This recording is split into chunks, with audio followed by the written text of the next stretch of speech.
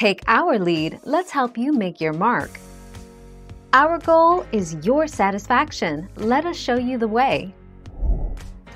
The American tradition of moving the tassel on graduation caps from the right side to the left side during the commencement ceremony signifies the recognition of earning a degree. It is sometimes called, turning of the tassel.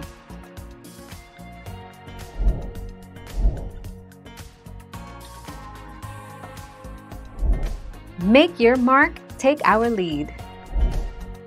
The graduation tassel attached to a mortarboard for a school or college represents a belonging to a particular class that has completed its goals.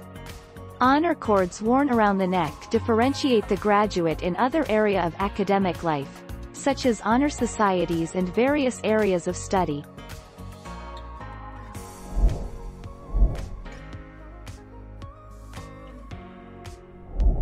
Let's help you make your mark.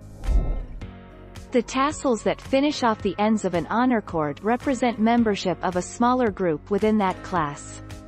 Honor cords worn around the neck differentiate the graduate in other area of academic life, such as honor societies and various areas of study.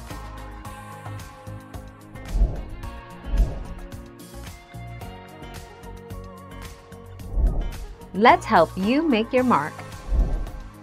The cap should be worn directly on your head and not tilted back and it should lie about 1 inch above your eyebrows. Keep in mind that your cap will usually distinguish which side goes in the front and which side goes in the back. Simply flip your cap over and you should find the instructions on the underside.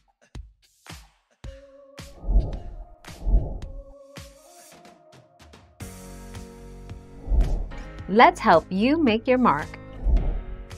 Traditionally tassels are worn on the right side and moved to the left during a special portion of the ceremony for high school graduates.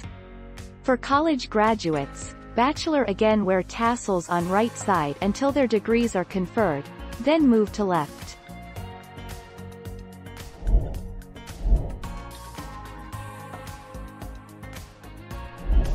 Let's help you make your mark. 1. A dangling ornament made by laying parallel a bunch of cords or threads of even length and fastening them at one end. 2. Something resembling a tassel especially. The terminal male inflorescence of some plants and especially corn. Tassel. Thank you for watching. Please subscribe and hit the bell notification.